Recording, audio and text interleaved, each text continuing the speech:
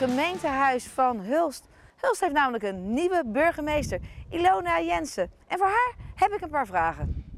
En dan zit ik hier met een nieuwe burgemeester. Bekende Kamer hebben we al vaker uh, gezeten. Mevrouw de burgemeester. Nou, zeg maar Ilona. En gewoon je, alsjeblieft. Ilona. Ja. Ja, dat is uh, ook weer ja, niet alleen een nieuw gezicht, een veel jongere uh, burgemeester.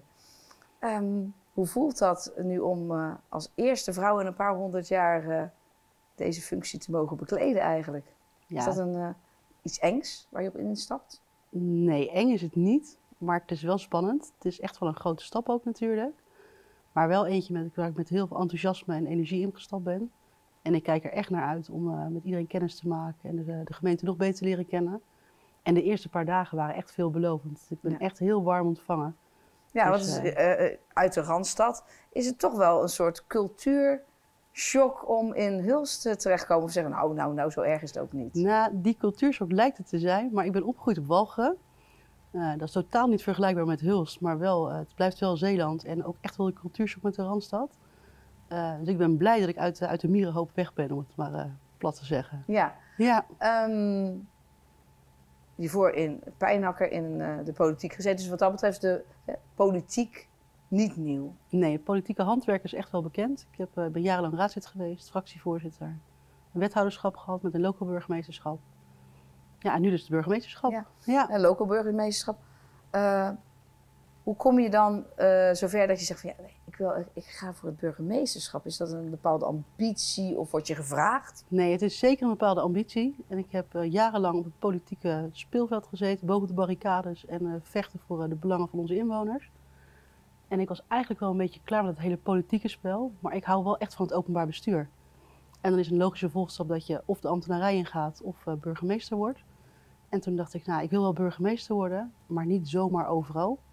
Dus laat ik me de komende jaren daar eens op gaan oriënteren. En toen kwam Huls voorbij. En toen dacht ik, ja, dat is, is het. De eerste plaats waar je op ja, zei, hebt? Mijn man zei, niemand wordt aangenomen op zijn eerste sollicitatie. Nou, het kan verkeren. Ja. Heb je daar ook een... Uh, ik moet zeggen, heb je overal opleiding voor nodig? Heb je daarvoor een bepaalde opleiding uh, nodig? Ik word burgemeester. Dus je... Nee, dat, die opleiding komt pas achteraf, gek genoeg. Um, ze vragen natuurlijk wel bepaalde voorkennis. Want je komt niet zomaar in, in aanmerking. Maar in principe kan iedereen solliciteren. Oké. Okay. Ja. Uh, nou, het is wel handig dat je natuurlijk wel die politieke achtergrond. Uh, dat gaat je wel helpen. ja. Um, dus je moet nog heel veel leren als burgemeester. Um, nieuwe Kamer, nieuwe collega's. Zeker. Um, wat uh, komt er als eerste waar je zegt van, oh, dit is het eerste wat ik nu moet gaan doen als burgemeester? Nou, ik heb hem in mijn intro gezegd, ik moet vooral de komende periode leren, verwonderen, bewonderen en, uh, en kennis maken. En dat ga ik ook echt doen. Want het politieke handwerk, dat is eigenlijk grosso modo overal hetzelfde. Maar de gemeente echt leren kennen, en dat doe ik niet vanuit deze Kamer, dat doe je buiten, op straat, tussen de mensen in. Dat is wat ik echt heel erg wil gaan doen de komende periode, de eerste weken.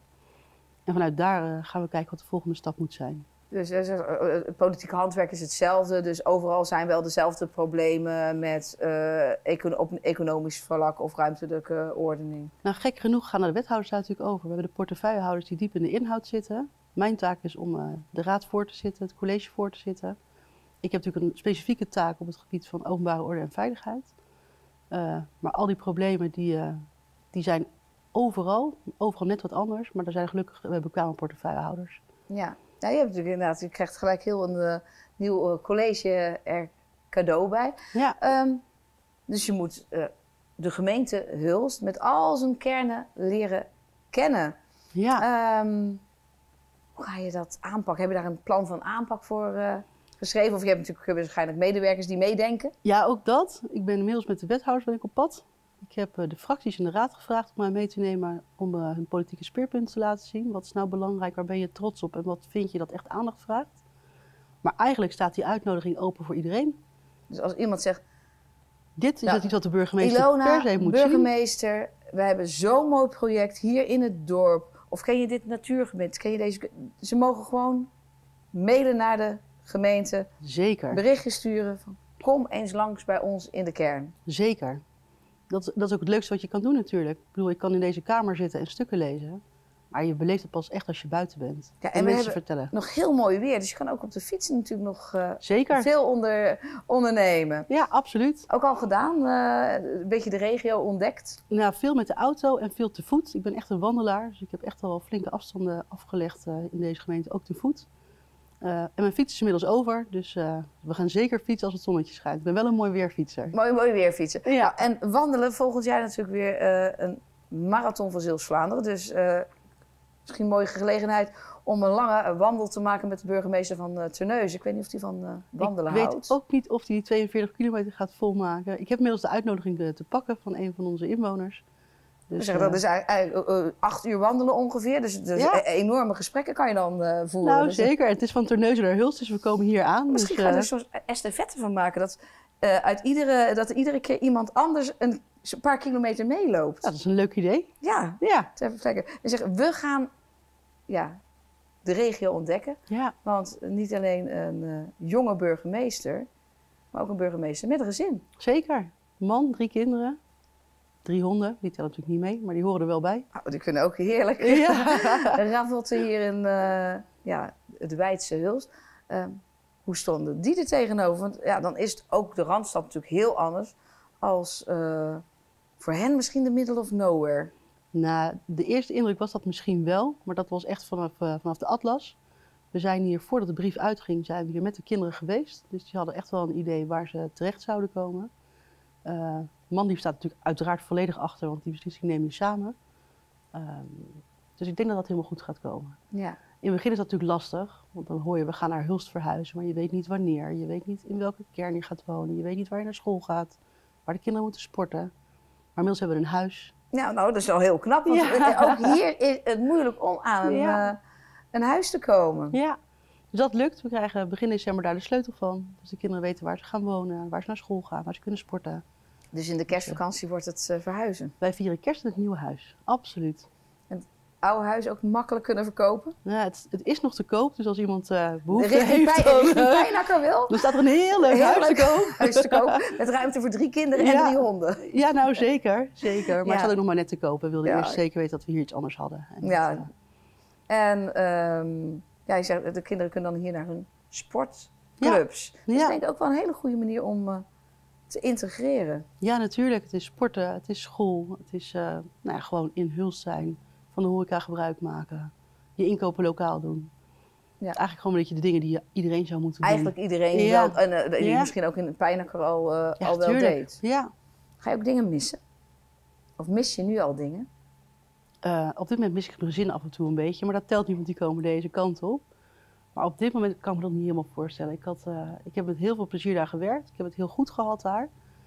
Maar het is ook wel een periode waarvan het goed is dat het, dat het stopt. En dat we aan iets nieuws beginnen.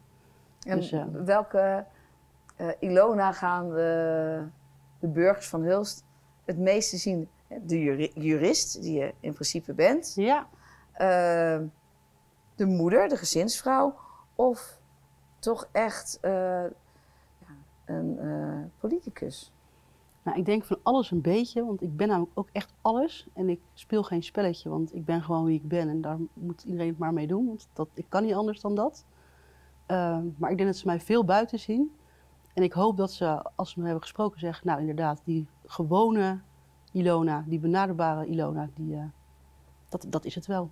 Ja, Eerlijk, recht door zee. zeker. Ja, Ehm, en, en direct.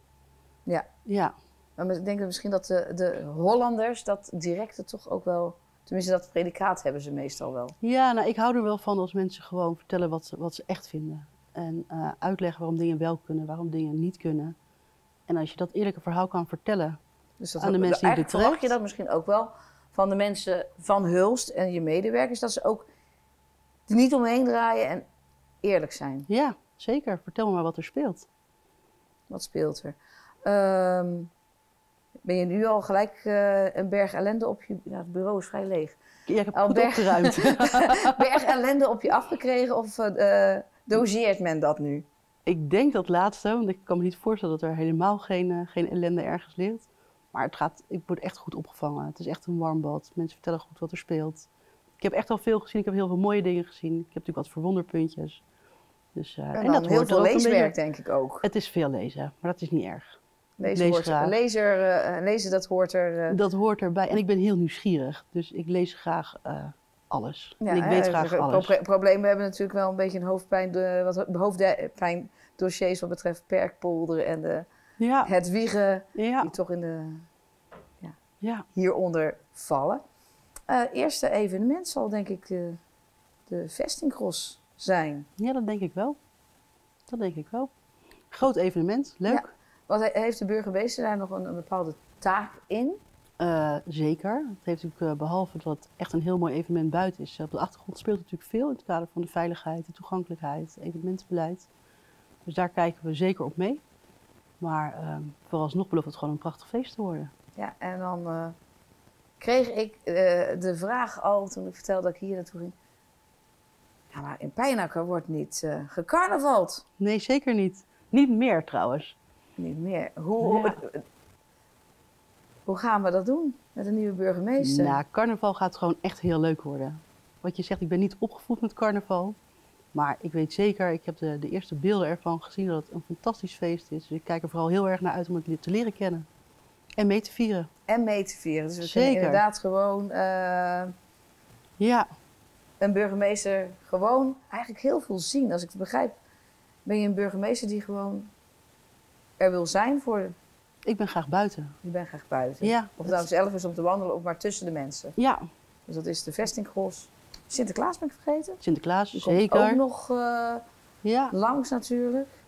Gaan we Eh, en ik denk dat hij ook heel graag kennis wil maken. ja nou, Sinterklaas ken ik al heel goed vanuit Pijnakker. Oh, daar Dus komt hij eh, ook. daar komt hij ook. Daar ja. komt hij met de metro aan. Dus dat is, dat is een bijzondere ervaring altijd. Maar ik kijk er naar uit om Sinterklaas weer te zien. Ja, kijk.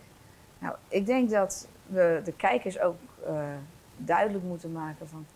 We hebben een nieuwe burgemeester die heel open staat voor iedereen. Niet alleen Ja. als je met een camera aankomt, maar eh, stuur een mailtje, nodig eh, mensen uit. En laat een burgemeester ook weten wat er speelt Ja, zeker. in de gemeente. En we hopen regelmatig ook nog eens langs te mogen komen. Of ja, we nodigen je graag uit bij ons in de programma's om toch te horen hoe gaat dat nou in het land van Hulst met de nieuwe burgemeester. Ja, dat is heel leuk. De eerste honderd dagen gaan we dus echt kennis maken. Maar daarna kan ik al mijn bevindingen delen. Ja, Dat doen we graag. dan komen we graag Ja. nog weer terug. Dankjewel. Heel leuk, dankjewel.